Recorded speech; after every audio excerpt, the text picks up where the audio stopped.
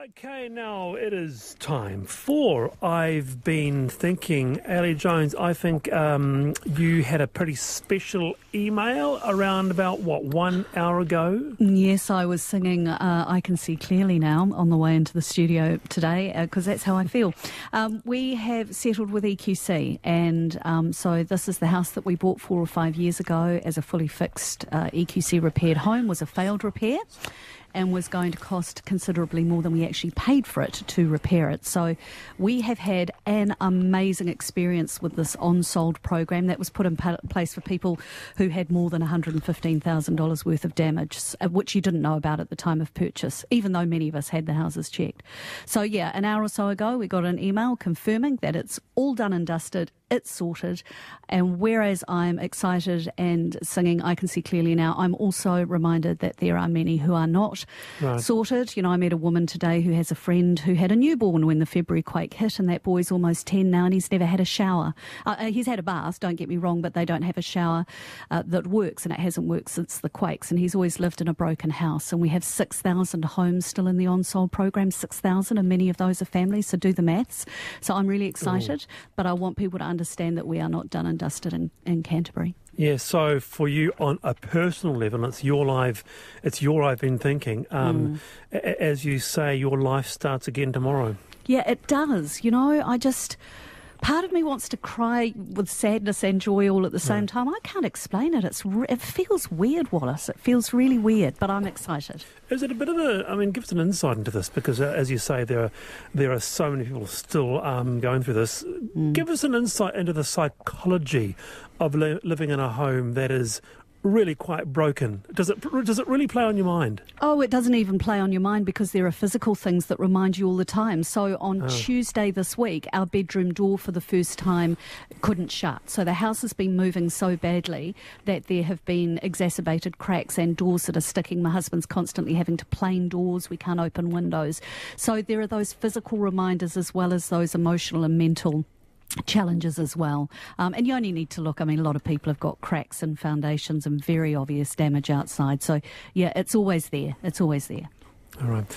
Uh, I'll come to you very shortly, Shane. Mm. Just a bit of feedback. Uh, while we're on the subject of houses, we talked about uh, renting and the impossibility of finding a good place to to find in the Wellington area. Sharon says, this is Sharon's point of view. I look back at um, uh, our grandparents, and when they were first married, they built a one room cottage with an outside loo and laundry. Then, as the kids started arriving and as they could afford it, they would start tacking on lean tos. I look at what is on offer these days in a modern house.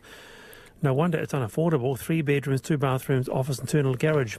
I think the regulations and covenants are a problem. Mind you, they're not always three bedrooms and an internal garage, are they? But uh, thank you, Sharon, for that. All right, Shane Te Pou, I've been hmm. thinking.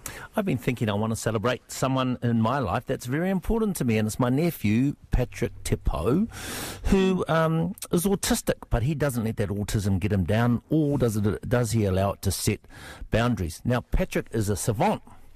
Uh, his area of expertise, uh, Coronation Street, Emmerdale Farm, and more importantly to him, New Zealand media.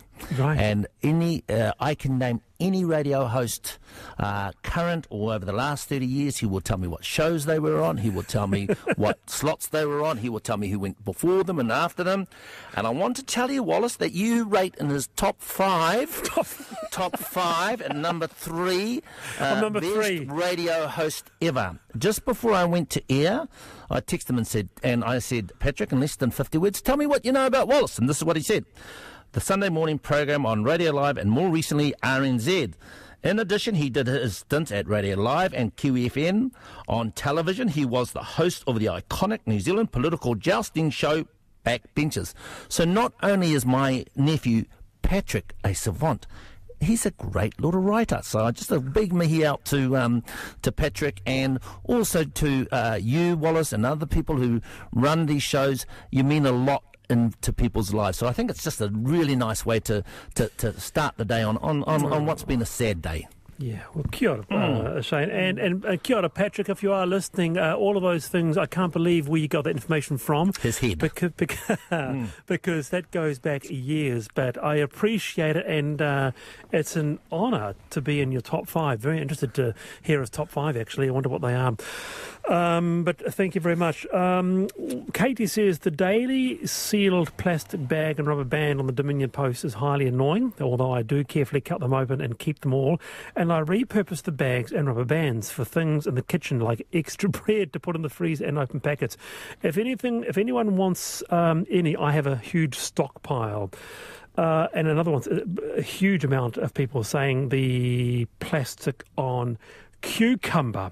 So, a big response to that. We'll be talking about that toward the end of the program. And just while we have a bit of time, actually, Ali Jones, um, uh, a couple of people got in touch and said, um, be keen to hear more about the on sold program. What is that? Well, really quickly, the OnSold program was set up by EQC so that people who'd bought houses, because everyone still can go back to EQC at any stage if you find damage that wasn't found or it's it's not been repaired.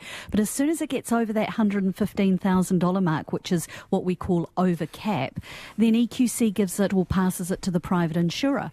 Well, with the OnSolds, the private insurers were saying, not our problem. You cocked it up, it's your problem. So there were a number of people that were looking at taking a case. Uh, that was going to be hugely time consuming and costly. So EQC set up the OnSold program and is essentially taking on that private insurance cost as well. So you don't get a lump of cash, you have yeah. got to repair your house and you have an encumbrance on the title till you've repaired it. The deadline has passed though. It was very ah. widely promoted.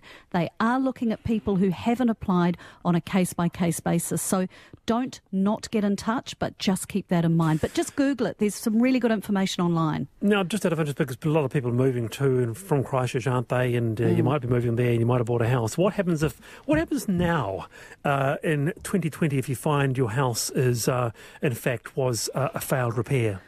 Well, see, that's the problem. If you haven't oh. enrolled oh. for the OnSold program, you are going to really only have one option, and that is the legal path, which is why the OnSold program was set up. So, all I can say is, for goodness sake, if you're going to buy a house that has been repaired, there are some really good things online of things to look out for. You know, even, even rolling a marble down the kitchen bench, you know, something as basic as that oh, might give you an oh, idea of damage. So, just just look online or go to the Greater Christchurch Claims Re- Resolution Service service, the GCCRS. Google that, and there will be people there that will be able to help you as well. Thank you very much for that advice. There. Meg, the worst plastic item, the plastic hangers used to display underwear, etc., in shops, apparently not reused or recycled, just thrown at the hangers attached to um, the son's Christmas gift. Alex says, My most annoying plastic thing in daily life is this um, living smartphone. Oh, great when it works, which unfortunately is only about 25% of the time.